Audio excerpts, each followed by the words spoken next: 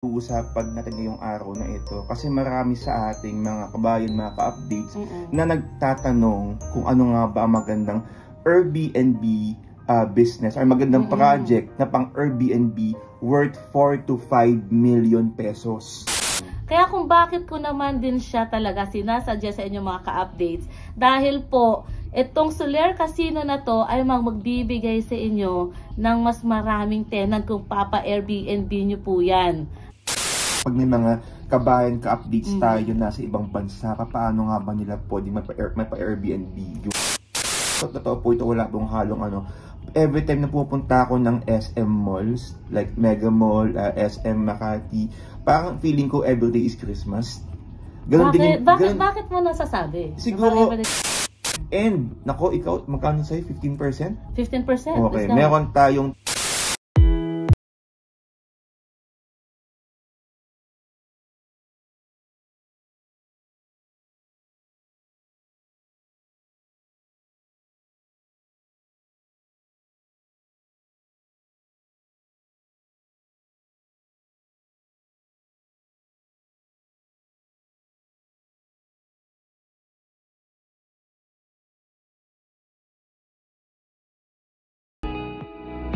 Okay, isa pong magandang magandang magandang araw po sa lahat ng kabayan ka-updates, Luzon, Visayas, Mindanao, buong Pilipinas, saan man pong lupalo kayo ng mundo. Magandang magandang araw po ako po yung virtual SMDC International Property Specialist Justin Archada and welcome back to my channel!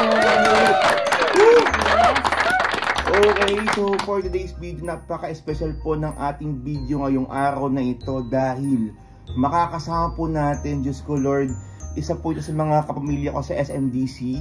Nakasama ko po siya sa isang video ko last year. Sa pangalawang pagkakataon, muli tayo na pagbigyan sa kanyang napaka-busy schedule. Makakasama po ulit natin siya.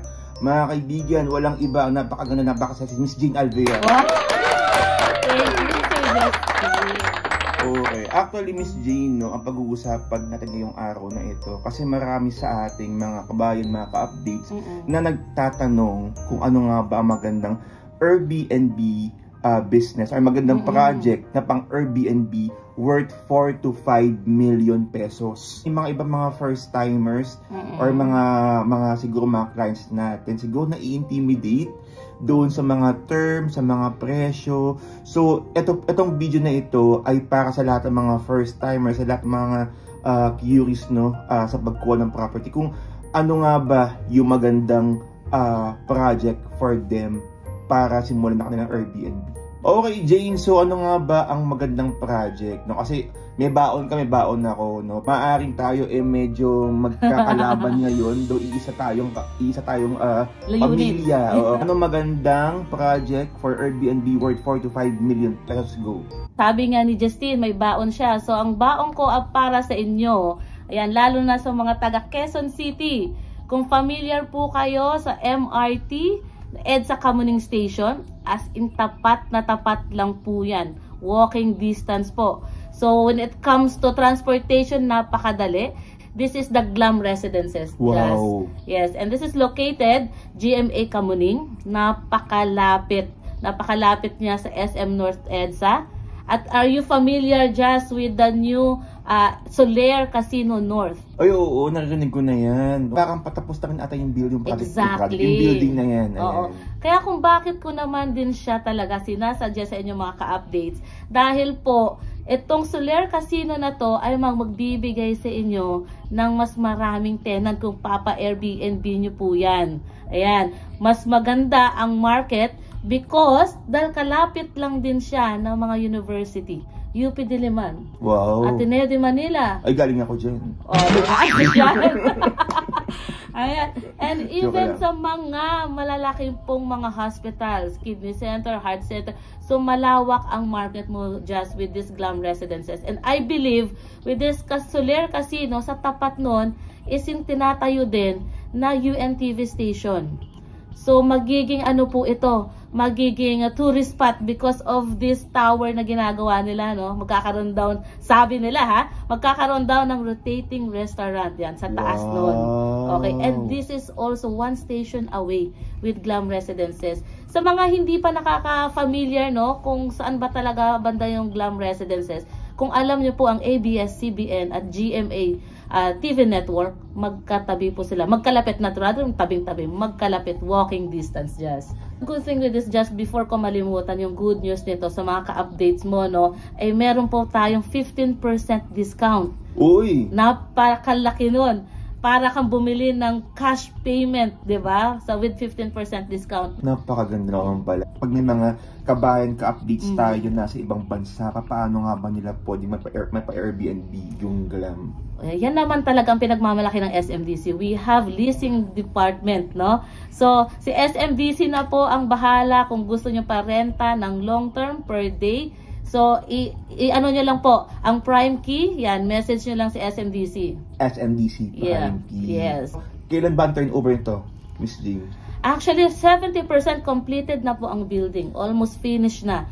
So, by 2024, next year po, Uy. ay turnover na siya. Uy. Yan, sa mga gustong nagmamadaling magpa-Airbnb within one year or two years, ayan, pwedeng pwede na po ito si Glam Residences. At the good thing, by next year, mag, mag, magfa-function na rin ang Soler Casino North. So, Wow. sabay sila. Mm. Nako, napakaganda ng glam residences, Miss Jane, no? Pero syempre, hindi tayo magpapatalo.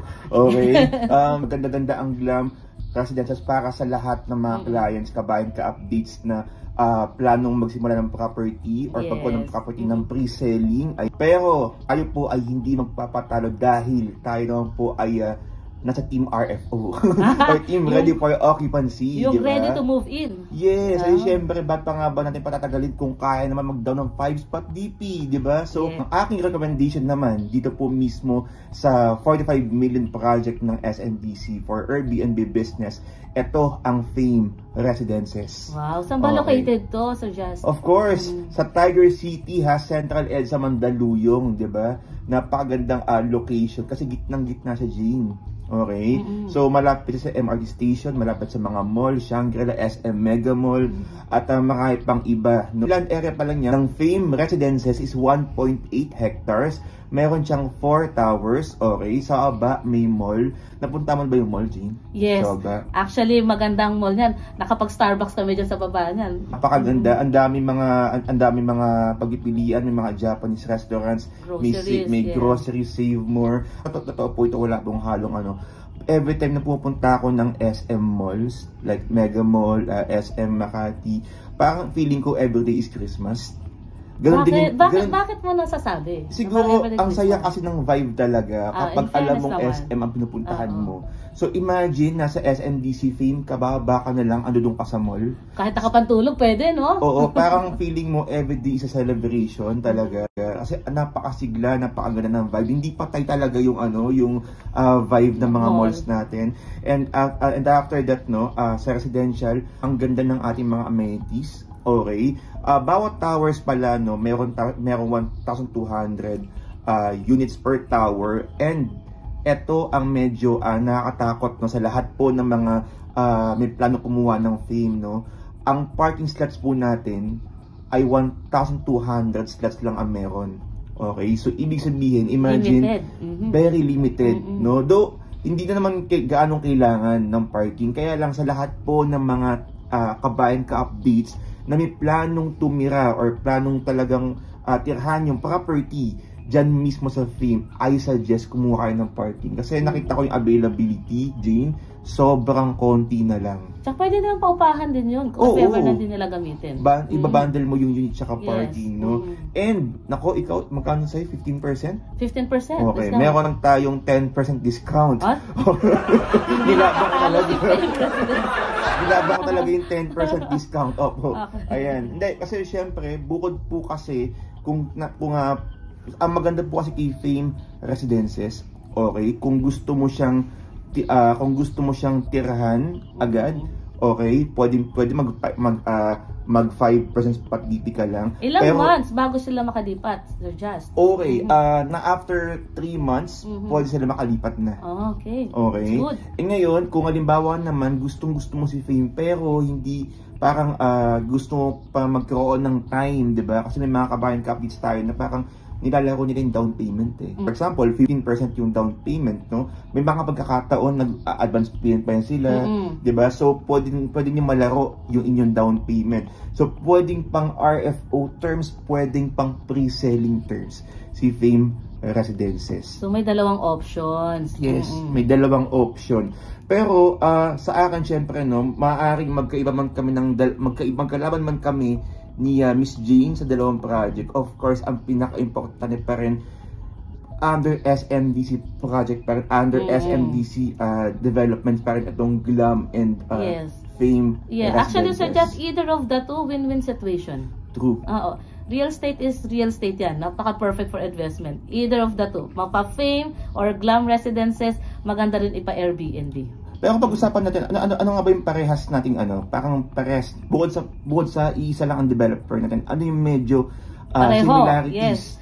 ng ating, ah, ng dalawang project na to? So si Fame, may mall sa baba. Mm-mm. Hindi magpapatalo si Glam. Mm. Meron din commercial area ang baba ng Glam Residences. Can you imagine, bababa ka na lang ng unit mo at magkakape dyan sa, sa Starbucks or sa coffee shop at mag-grocery ka kahit nakapambahay ay pwede-pwede.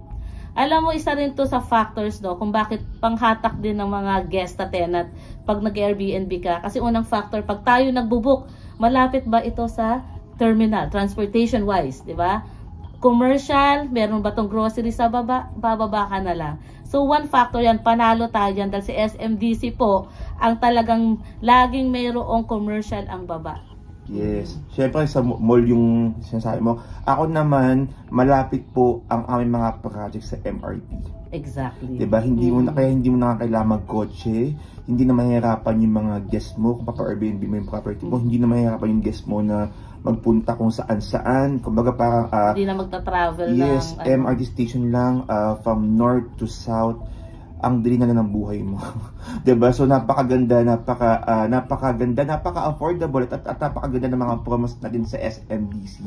Glam Residences Yes. and Fame Residences. At para po sa lahat ng mga interesado ha, malaman ng buong detalye pa ng Glam and Fame Residences, nako please DM me, ayan, sa aking WhatsApp number 63952814355.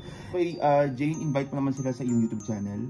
Pasubscribe na rin po sa aking uh, YouTube channel, Jane Alvia Real Estate Vlog. Maraming maraming salamat, Yes. Alvia. Thank, you so much, ulit. Sir Jazz, and mga ka-updates. Thank Oo. you. Ah, huwag niyo po kalimutan mag-subscribe sa aking cha- YouTube channel, Justin Archeda, Justin Archeda SMDC TV. Okay, TikTok account and Facebook page SMDC Kabayan Investment. And ah, syempre sa aking Instagram ay huwag niyo po kalimutan i-follow po. Ako po ang inyong Virtual SMDC International Property Specialist Justin Archeda na nagpapaalala po sa inyo. Kabayan ka update, sabay-sabay tayong lumipad at Mangarap! Yes. Ay, maraming maraming salamat. Stay safe and happy investing everyone. Thank you, Jane. Thank you.